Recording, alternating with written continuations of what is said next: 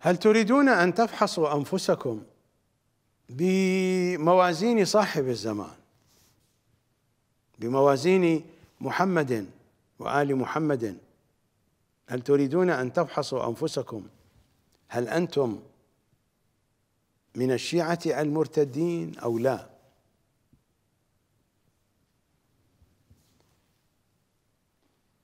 فاكثر مراجع التقليد عند الشيعة نبذوا العهد المأخوذ منهم وراء ظهورهم كأنهم لا يعلمون قد ارتدوا عن دينهم. والذين ساروا على منهجهم هم أيضا قد ارتدوا عن دينهم.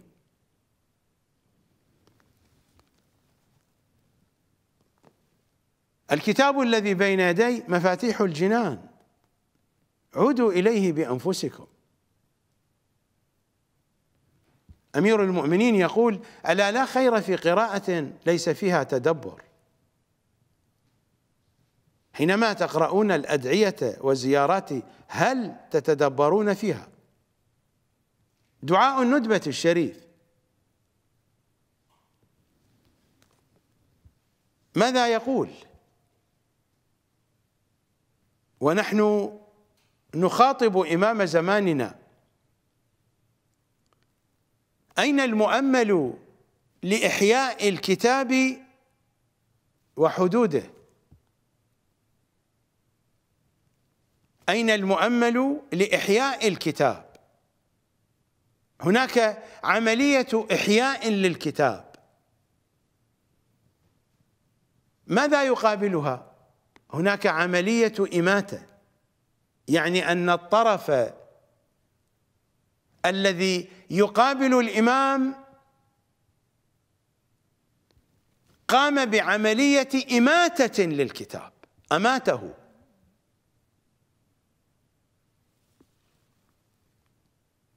أين المؤمل لإحياء الكتاب وحدوده؟ فالإمام آت بعملية إحياء للكتاب وحدوده. ما المراد من حدوده؟ هل تتوقعون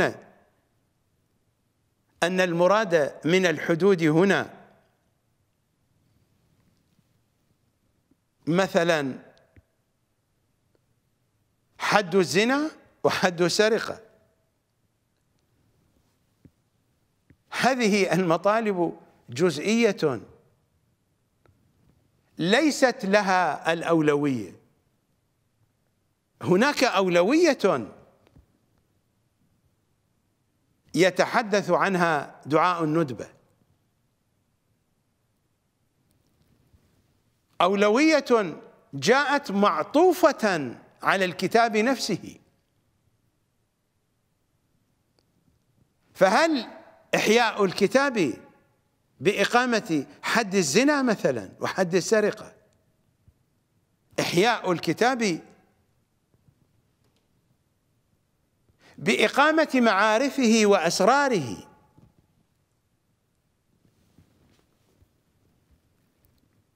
بتحقيق حقائقه. أين المؤمل لإحياء الكتاب وحدوده. ما هي حدود الكتاب؟ بشكل سريع سأعرض لكم حدود الكتاب.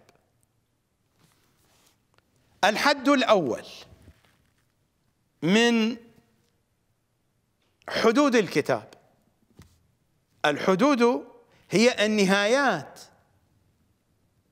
التي يصل إليها مضمون الكتاب. هذا الكتاب الذي أماتوه وأماتوا حدوده. ومر علينا من أن الإمام الحجة يبدأ بكذابي الشيعة يبدأ بدجالي الشيعة.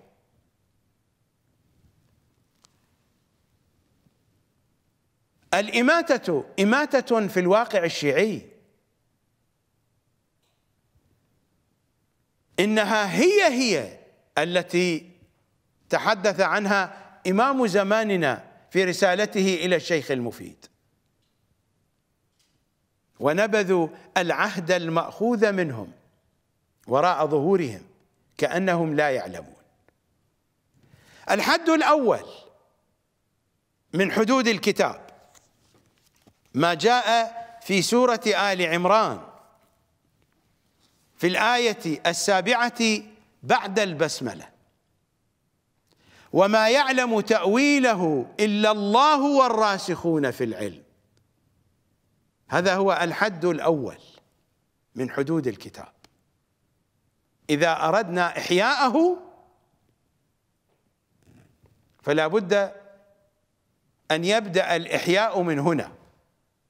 وإذا أردنا إماتته فلا بد أن تبدأ الإماتة من هنا وهذا هو الذي فعله مراجع النجف وكربلاء. أماتوا الكتاب. ولذا هم في مواجهة الذي سيقوم بإحياء الكتاب وفعلوا ذلك عمدا مثلما وصفهم. صلوات الله وسلامه عليه ونبذوا العهد المأخوذ منهم وراء ظهورهم كأنهم لا يعلمون. هذا الحد الأول. وما يعلم تأويله إلا الله والراسخون في العلم. عمليا مراجع النجف وكربلاء في تفاسيرهم على الإطلاق. لم يراعوا هذا الحد. وأعطوا للتأويل معنى بعيدا عن المعنى الذي يتحدث عنه القرآن. جعلوا التأويل معنى ثانويا. الله يقول وما يعلم تأويله يعني حقيقته. تأويل الشيء أن نعود به إلى أوليته إلى حقيقته. فهل القرآن يقول من أن المعاني الثانوية لا يعلمها إلا الله والراسخون في العلم؟ هل هذا الكلام منطقي؟ إيه بلاغة هذه؟ وما يعلم تأويله إلا الله والراسخون في العلم تأويله تفسيره الحقيقي. العودة به إلى أوله إلى أصله. وما يعلم تأويله إلا الله والراسخون في العلم. هذا الحد الأول من حدود الكتاب. الحد الثاني هذا الجزء الأول من تفسير العياشي وهو جامع من جوامع أحاديثنا التفسيرية. هذه الطبعة طبعة مؤسسة الاعلمي بيروت لبنان. أقرأ عليكم ما جاء في الصفحة التاسعة والعشرين. الحديث الثاني. عن هشام بن سالم عن إمامنا الصادق صلوات الله وسلامه عليه من فسر القرآن برأيه فأصاب لم يؤجر. وإن أخطأ كان إثمه عليه. يضحكون عليكم حينما يقولون لكم من أن المجتهد إذا أصاب له أجران وإذا أخطأ له أجر. هذا منطق سقيفة بني ساعدة. هذا منطق النواصب اللعناء. منطق آل محمد هو هذا. من فسر القرآن برأيه فأصاب لم يؤجر. وإن أخطأ كان إثمه عليه. والاجتهاد عمل بالرأي. الحديث السادس.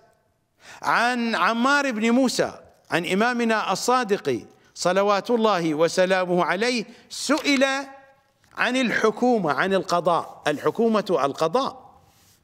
سئل عن الحكومة عن القضاء. قال من حكم برأيه بين اثنين فقد كفر. يعني من اجتهد. من حكم برأيه بين اثنين فقد كفر. يعني من قام بقضاء شرعي واعتمد على اجتهاده ورأيه فقد كفر. ومن فسر برأيه آية من كتاب الله فقد كفر.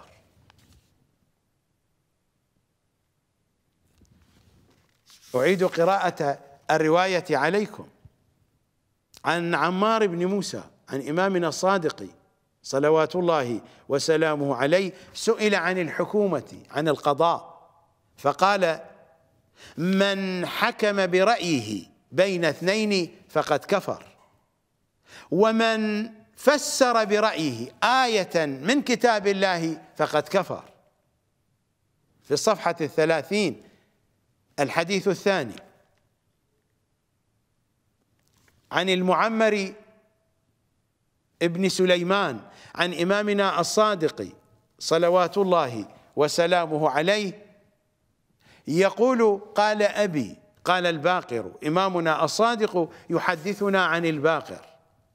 وإنما يحدث الأئمة عن الأئمة كي يلفتوا أنظارنا إلى أهمية الحديث. من أنهم قد تحدثوا بهذا المضمون جميعا. ماذا قال إمامنا الباقر وماذا قال إمامنا الصادق صلوات الله عليهما؟ ما ضرب رجل القرآن بعضه ببعض إلا كفر. هذا الذي يتحدثون عنه من أنهم يفسرون القرآن بالقرآن. ما كل الفضائيات الشيعية تتحدث في برامجها القرآنية بهذا المنطق. هؤلاء كفار بحسب محمد وآل محمد. هذه الفتاوى من محمد وآل محمد وليست من المراجع الثولان في النجف. قطعا لو كانت هذه الفتاوى صادرة من هؤلاء المراجع الثولان في النجف لقدسوها ولعملوا بها لكنها تصدر عن الباقر عن الصادق يدوسون عليها بأحذيتهم.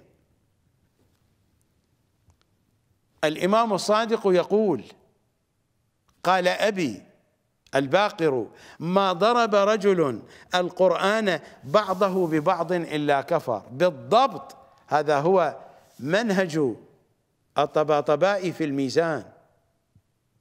إنه يفسر القرآن بالقرآن بعيدا عن أحاديث العترة الطاهرة. أنا لا أعترض على تفسير القرآن بالقرآن وفقا. لمنهج العترة. إنما أعترض على هذا المنهج الكافر. الأئمة يقولون عنه عن منهج الطباطباء في الميزان.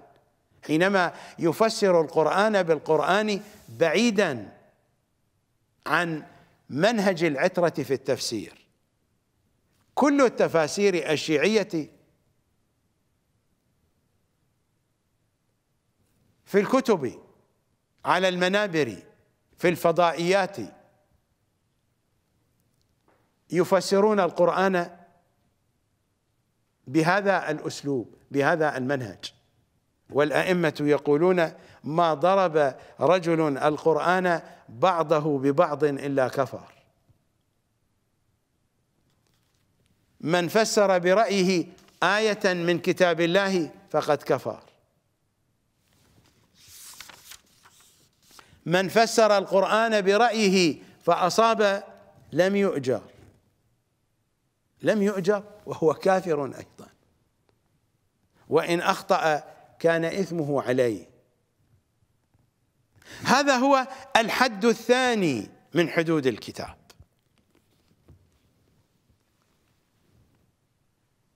الحد الأول وما يعلم تأويله إلا الله والراسخون في العلم. الحد الثاني الراسخون في العلم هم الذين قالوا لنا. ما ضرب رجل القرآن بعضه ببعض إلا كفر. من فسر آية من كتاب الله برأيه فقد كفر. هذا هو الحد الثاني. الحد الثالث وهو الحد الأعظم. إنها بيعة الغدير. أقرأ عليكم ما جاء في خطبة النبي صلى الله عليه وآله في بيعة الغدير التي تشتمل على مواثيق البيعة. أقرأ عليكم من إقبال الأعمال. للسيد ابن طاووس.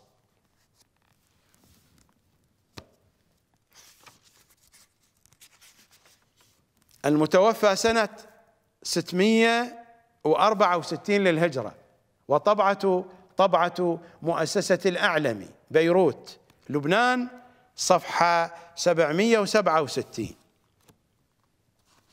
هذا الميثاق أخذه رسول الله علينا وعلى هذا بايعنا.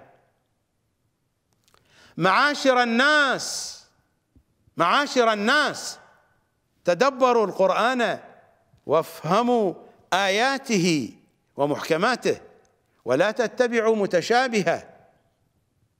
فوالله لا يوضح تفسيره إلا الذي أنا آخذ بيده ورافعها بيدي ومعلمكم أن من كنت مولاه فهو مولاه وهو علي. هذا هو ميثاق بيعة الغدير.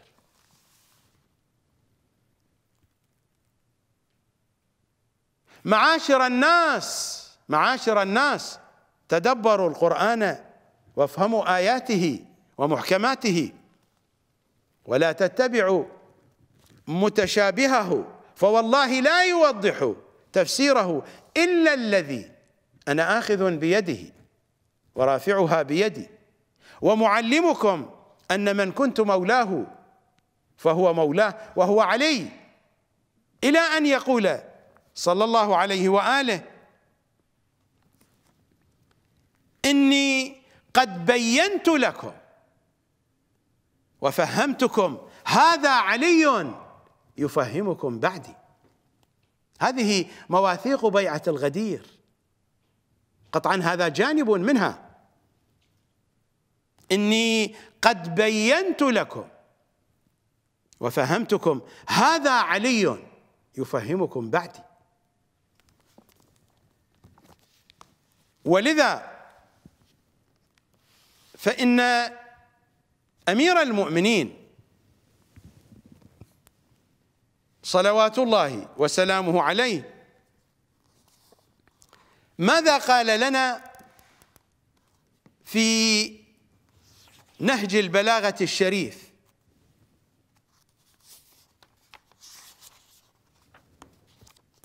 أقرأ عليكم من الخطبة الثامنة والخمسين بعد المئة. خطبة 158 صفحة 158 إنها طبعة دار التعارف للمطبوعات بيروت. لبنان أمير المؤمنين يقول ذلك القرآن فاستنطقوه. حاولوا أن تصلوا إلى تفسيره ولن ينطق لن ينطق لن للنفي التأبيدي لن تصلوا إلى تفسيره. ولكن أخبركم عنه هذا هو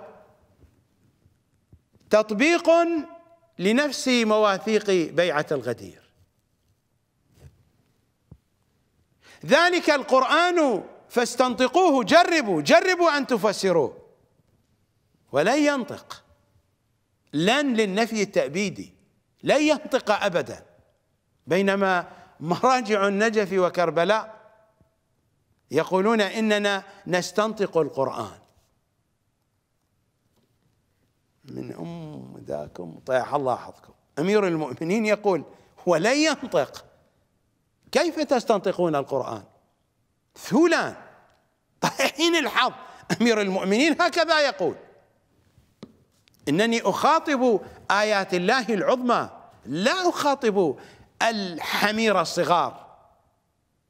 المعممين الصغار اخاطب الحمير الكبار الذين ينقضون بيعة الغدير. ويقولون من أننا نستنطق القرآن. حين الحظ. أمير المؤمنين يقول ذلك القرآن فاستنطقوه ولن ينطق. ولكن أخبركم عنه.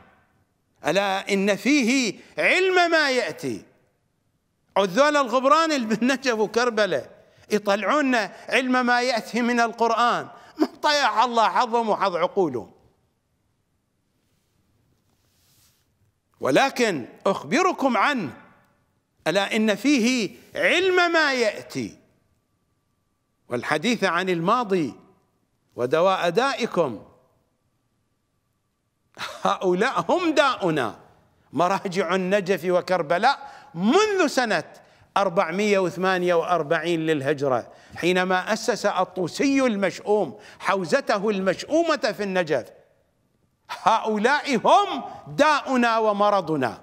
مرضنا العضال هؤلاء المراجع.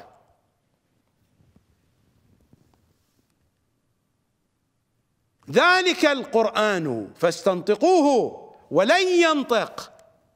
ولكن أخبركم عنه. ألا إن فيه علم ما يأتي والحديث عن الماضي ودواء دائكم ونظم ما بينكم.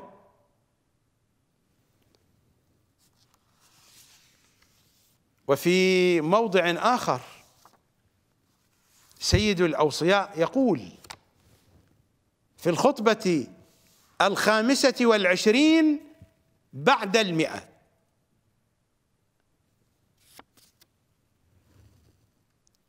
خطبته وكلامه المرقم 125 صفحة 129 هذا القرآن إنما هو خط مستور بين الدفتين. خط مستور. لا ينطق بلسان ولا بد له من ترجمان وإنما ينطق عنه الرجال. من هم الذين ينطقون عنه؟ تعالوا كي نذهب إلى الزيارة الجامعة الكبيرة.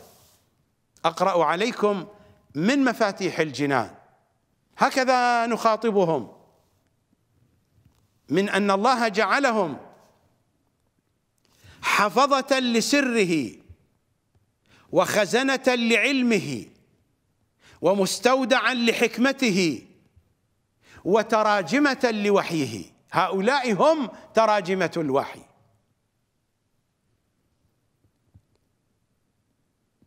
وليس الغبران الذين في النجف. وليس هذا الوائل الجاهل بحقائق القرآن وفقا لثقافة العترة ولا هؤلاء الخطباء الحمير الذين يقلدونه. تراجمة الوحي هؤلاء.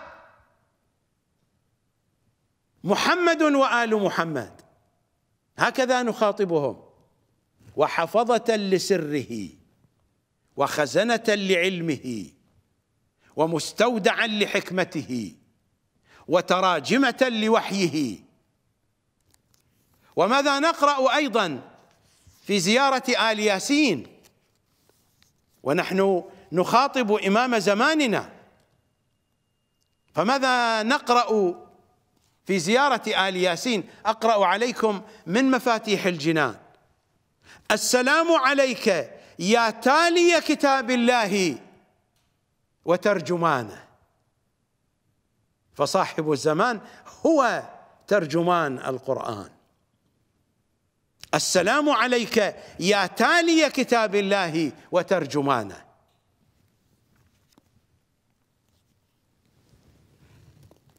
هكذا يقول أمير المؤمنين في نهج البلاغة الشريف هذا القرآن إنما هو خط مستور بين الدفتين.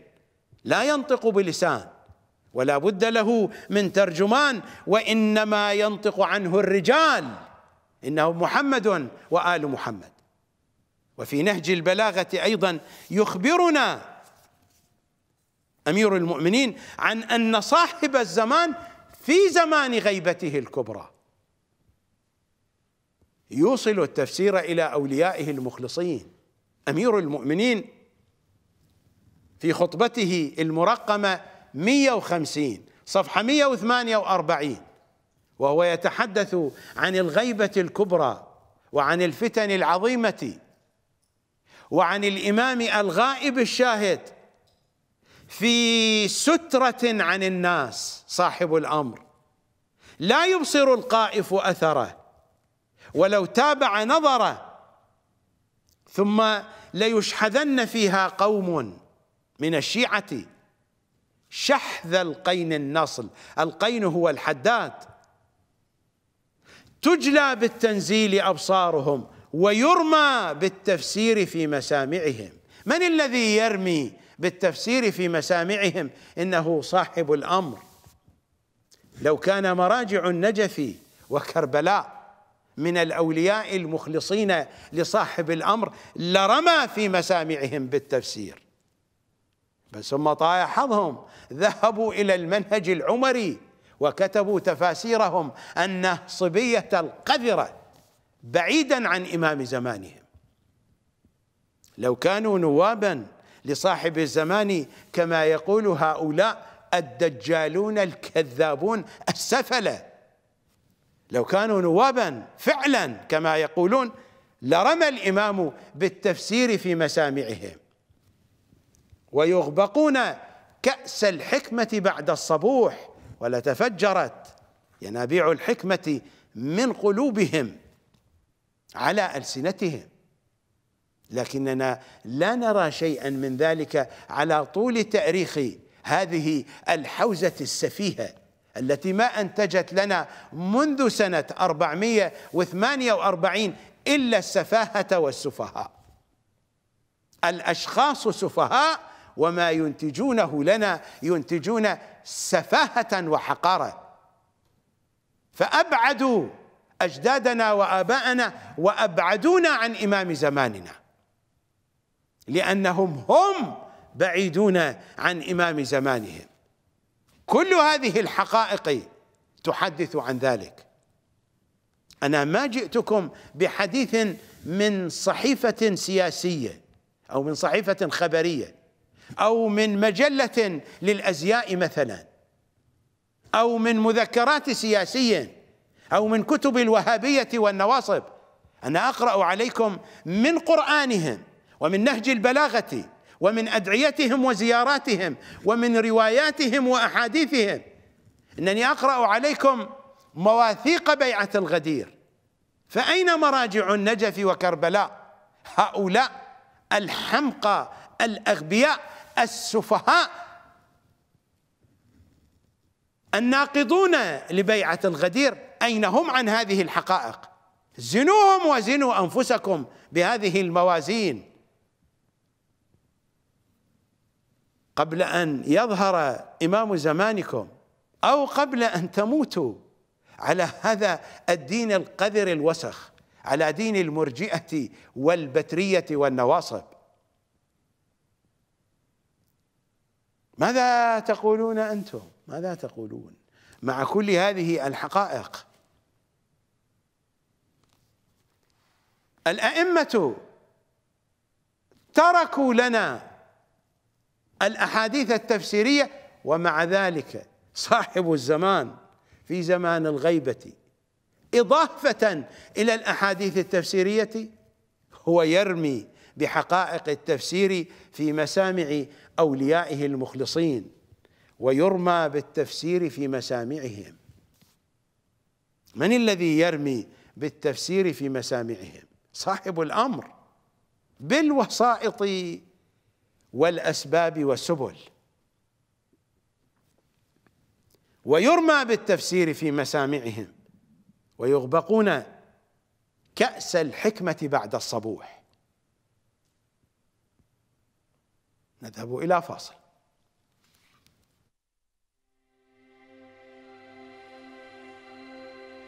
عن ابن أبي عمير عمن ذكره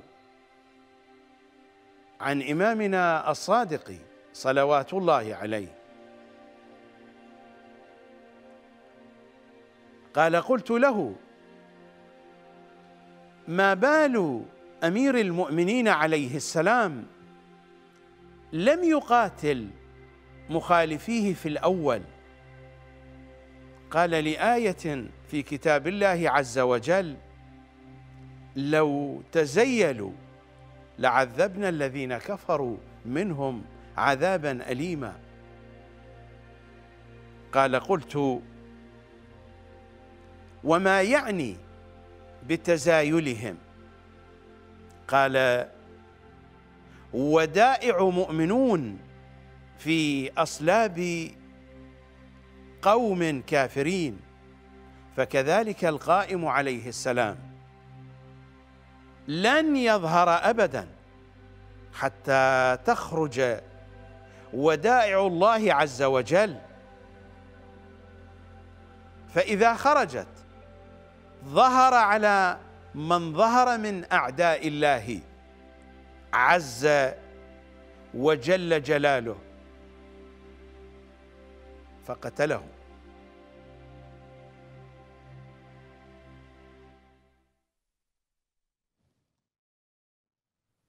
الآية السابعة والستون بعد البسملة من سورة المائدة تمثل لنا الحد الأعظم والحد الأكبر للكتاب. لذا دائما أقول من أن الآية هذه هي الآية الحاكمة على الكتاب كله بل هي حاكمة على النبوة كلها وحاكمة على التوحيد كله وحاكمة على الدين كله في ظاهره وباطنه. الآية صريحة وواضحة. يا أيها الرسول بلغ ما أنزل إليك من ربك في علي في بيعة الغدير. وإن لم تفعل فما بلغت رسالته. إنها الرسالة التي تشتمل على التوحيد ونبوة محمد وسائر التفاصيل. والقرآن جزء من نبوة محمد صلى الله عليه وآله.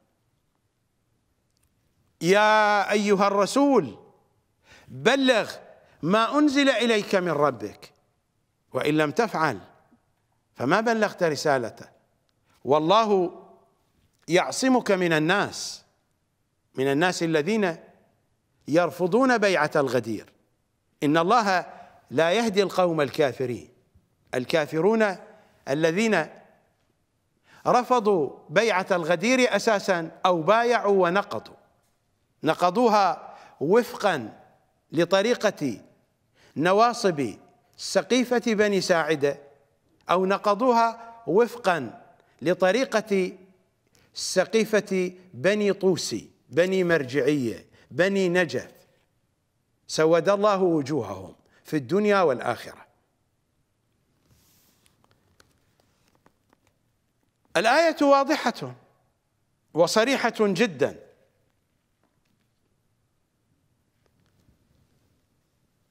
وهي التي أجملت لنا كل المطالب التي قرأتها عليكم. ما قرأت عليكم من كلام أمير المؤمنين في نهج البلاغة؟ ما قرأت عليكم مما جاء في زيارة الجامعة؟ أو في زيارة آل ياسين ما قرأته عليكم من خطبة النبي صلى الله عليه وآله في يوم الغدير التي تشتمل على مواثيق البيعة؟ ما قرأته عليكم من تفسير العياشي من الأحاديث التي جاء فيها من أن الذي يفسر آية من كتاب الله برأيه فقد كفر؟ إلى بقية المضامين. وما قرأته أيضا من القرآن نفسه من سورة آل عمران من الآية السابعة بعد البسملة. وما يعلم تأويله إلا الله والراسخون في العلم إلى بقية المضامين التي أشرت إليها. والتي أجملها لنا رسول الله صلى الله عليه وآله في حديث الثقلين ما إن تمسكتم بهما بالكتاب والعترة لن تضلوا بعدي أبدا. ما إن تمسكتم بهما. كل المضامين بمثابة شرح وتفصيل لهذه الكلمة الموجزة. الأمة حين ارتدت لأنها كفرت بهذه الوصية بعدما قتل الصحابة رسول الله الأمة ارتدت في سقيفة بني ساعدة لماذا؟ لأنها كفرت بوصية رسول الله والأمة حين ارتدت بعد قتل الحسين لماذا؟ لأنها قتلت الحسين وقتل الحسين كفر بوصية رسول الله.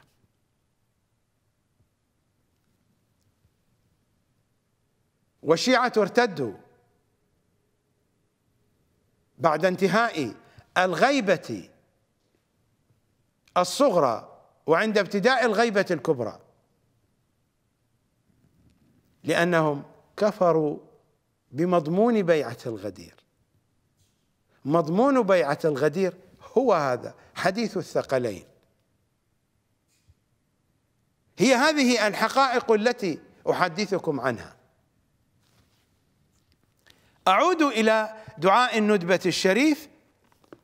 أين المؤمل لإحياء الكتاب وحدوده؟ حدود الكتاب هي هذه الجهات التي ينتهي عندها الكتاب تنتهي عندها معارف الكتاب. هذا المراد من حدود الكتاب وليس المراد من الحدود حد الزنا. عملية الإماتة للكتاب كله ما قيمة حد الزنا؟ وكم مرة سيجرى؟ الحدود هي هذه الحقائق التي حدثتكم عنها. أين المؤمل؟ لإحياء الكتاب وحدوده. الطرف الآخر قام بعملية إماتة وعملية الإماتة بالضبط المنهج الذي يتناقض مع الحقائق التي طرحتها عليكم. قبل قليل وهذا هو منهج مراجع حوزة النجف وكربلاء. الذين فسروا القرآن من مراجع حوزة النجف ومن مراجع حوزة كربلاء هم الذين قاموا بعملية إماتة كتاب الله. وهذا هو الارتداد. هذا هو الارتداد بعينه. ونبذوا العهد المأخوذ منهم وراء ظهورهم كأنهم لا يعلمون.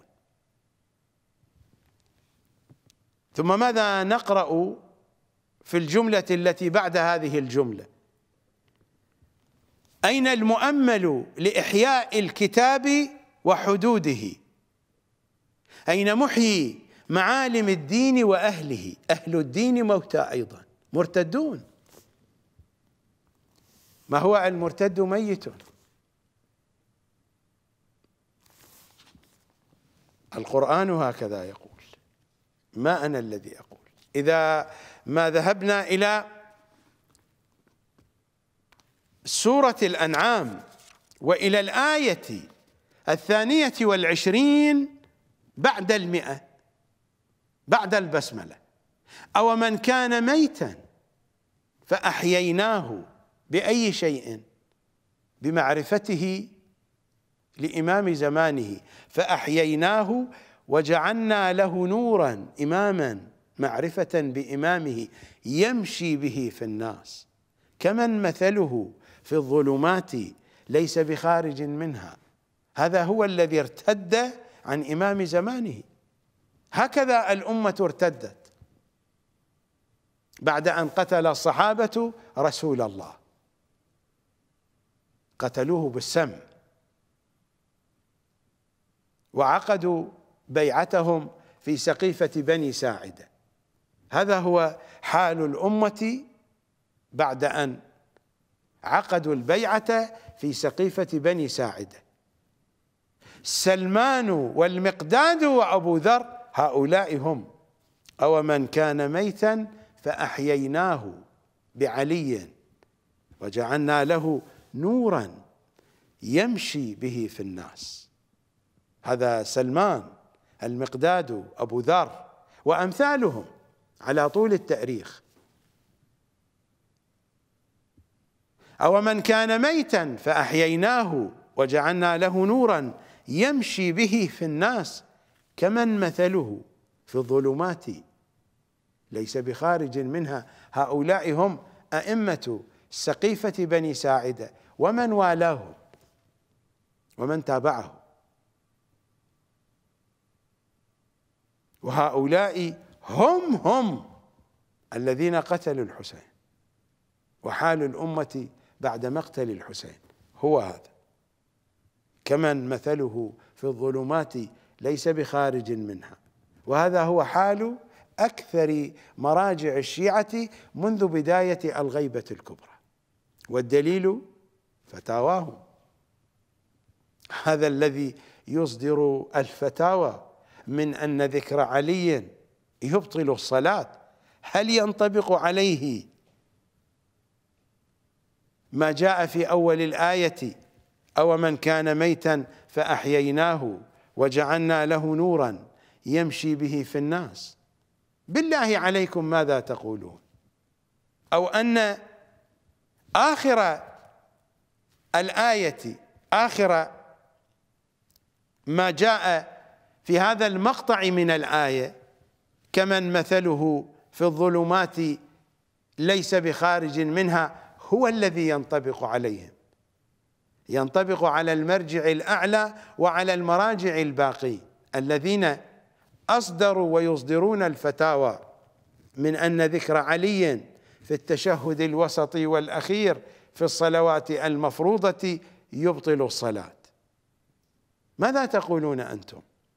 هؤلاء لهم نور يمشون به في الناس أم أنهم في الظلمات ليسوا بخارجين منها؟ وحق الزهراء البتول هؤلاء في الظلمات ليسوا بخارجين منها. أي نور لهؤلاء؟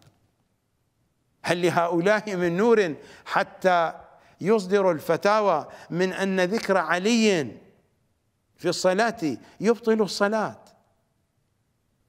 من تف على فتاواكم وتف على صلاتكم وتف على دينكم وتف على حوزتكم القذرة.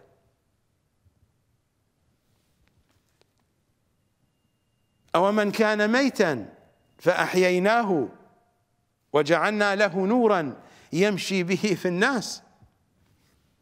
كمن مثله في الظلمات؟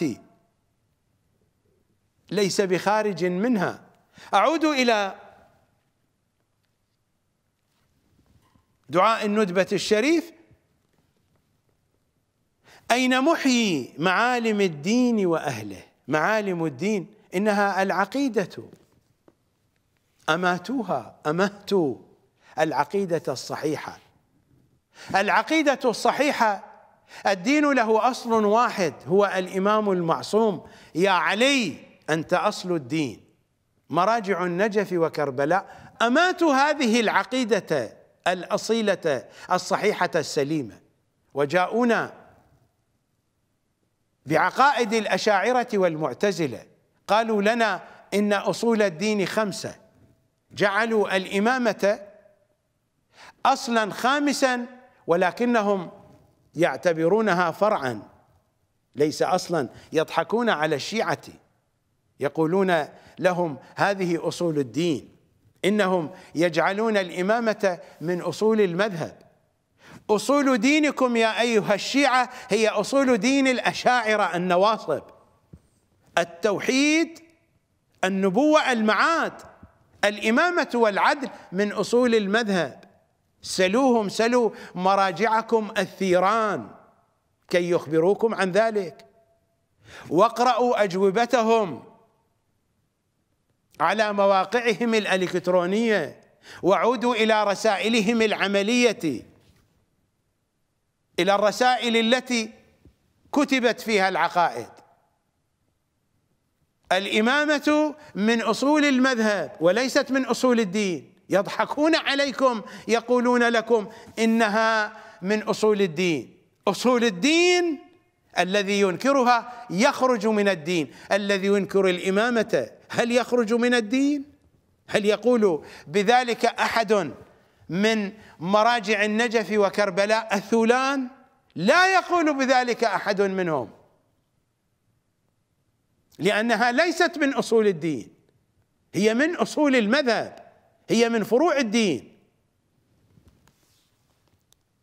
فأماتوا العقيدة ولذا فإن الإمامة في مواجهة أمة أماتت الكتاب وأماتت حدوده وقواعده. وفي مواجهة أمة أماتت معالم الدين أماتت العقيدة الصحيحة. فصاروا موتى صاروا موتى. أين محيي معالم الدين وأهله؟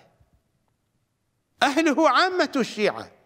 أما هؤلاء الشياطين المراجع هؤلاء أعداء صاحب الزمان. ولذا سيخرجون إلى قتاله؟ سيخرجون إلى حربه.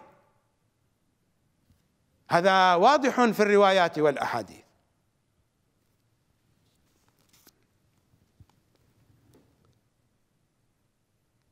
أين المؤمل لإحياء الكتاب وحدوده؟ هو مؤمل أن يقف في وجه الذين أماتوا الكتاب وحدوده. في واقعنا الشيعي من هم الذين أماتوا الكتاب وحدوده؟ مراجع النجف وكربلاء. تفاسيرهم تدل على ذلك فتاواهم تدل على ذلك طريقة استنباطهم تدل على ذلك. لا علاقة للقرآن عندهم في عملية الاستنباط. لا من قريب ولا من بعيد. لا علاقة للقرآن عندهم. في استنباط العقيدة إنني أتحدث عن القرآن المفسر بتفسيرهم.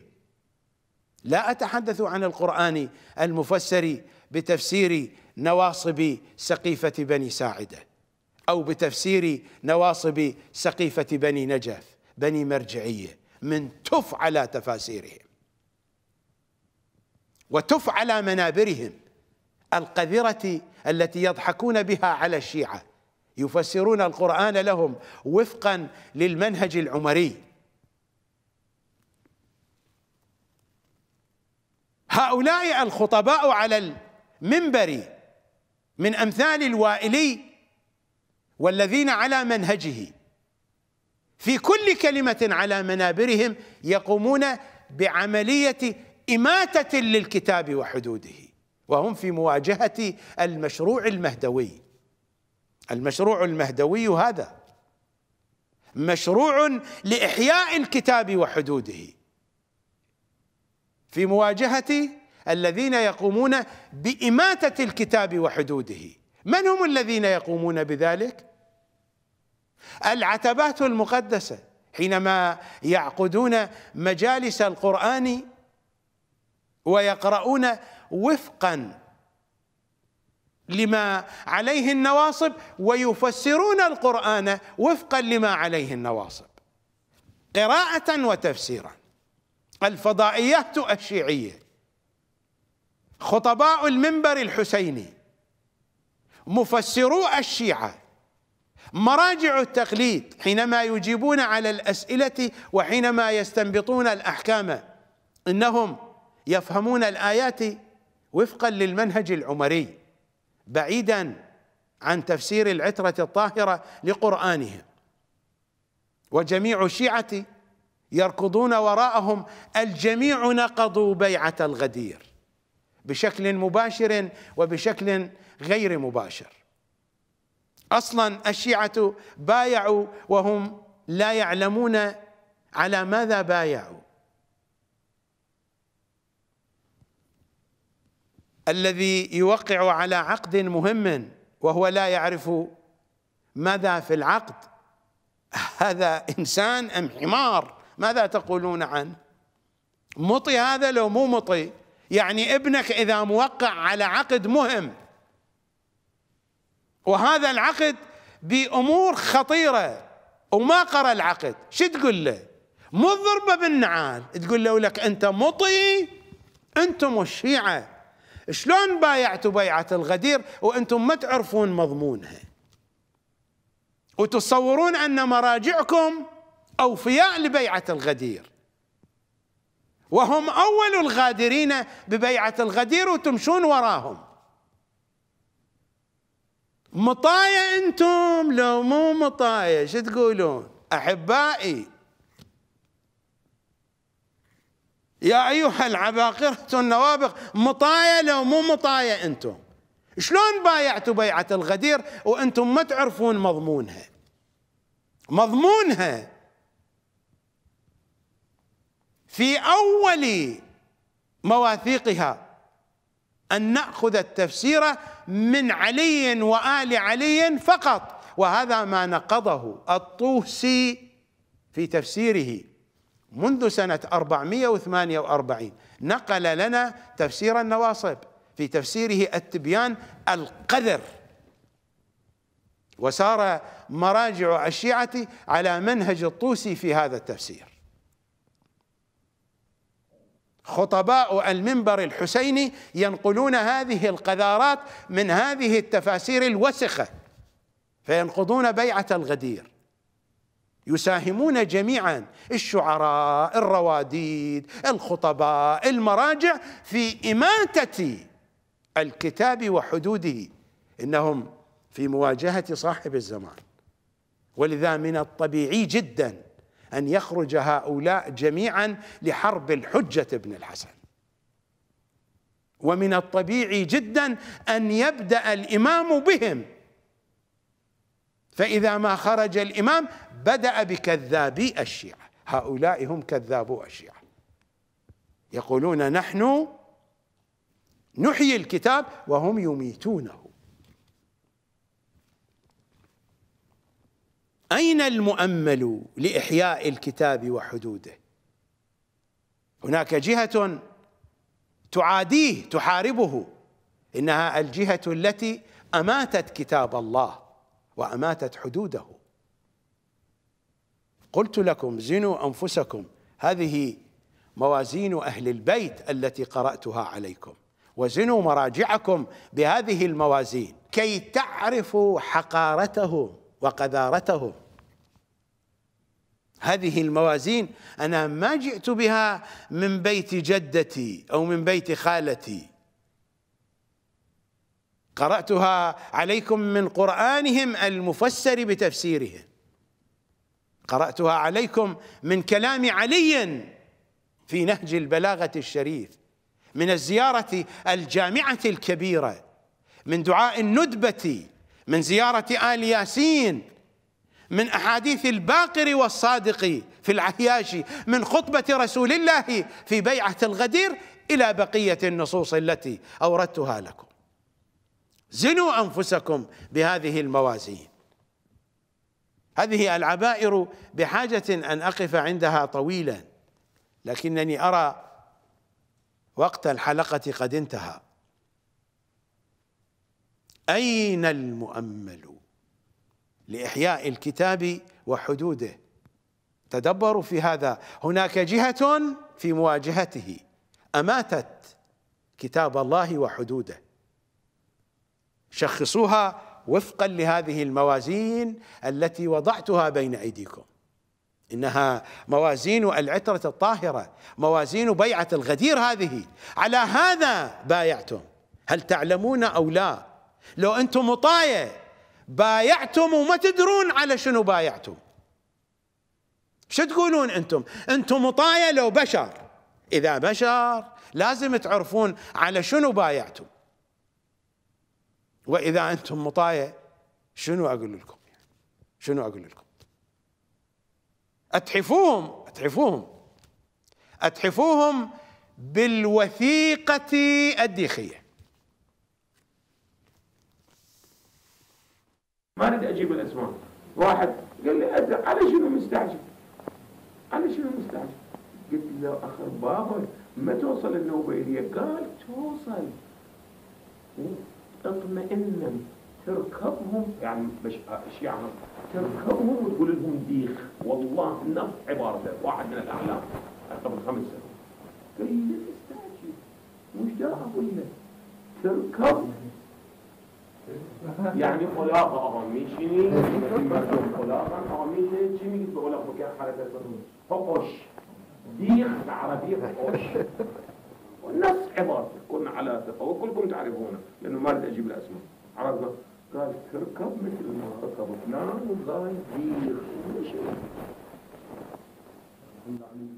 لا مو علم إجمالي. هذا واقع واقع الشيعة. لا أقول واقع الشيعة هذا والله هذا واقع الشيعة.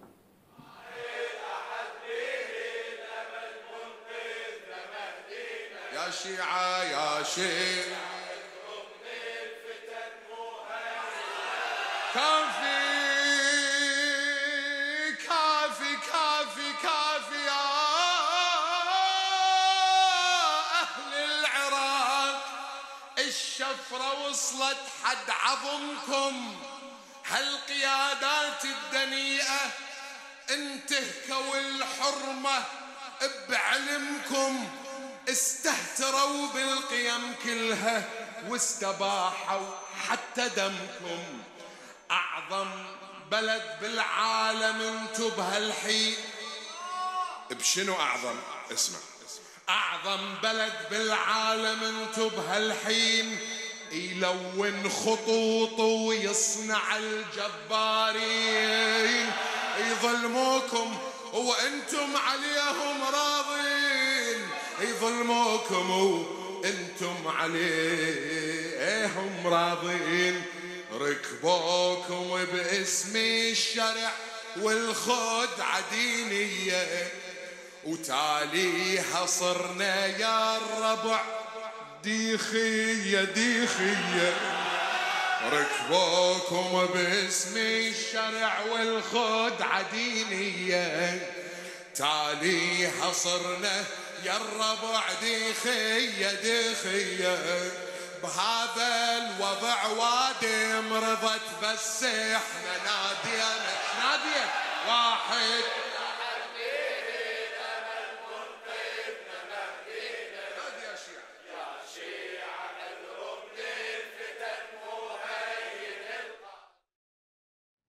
نلتقي غدا إن شاء الله تعالى.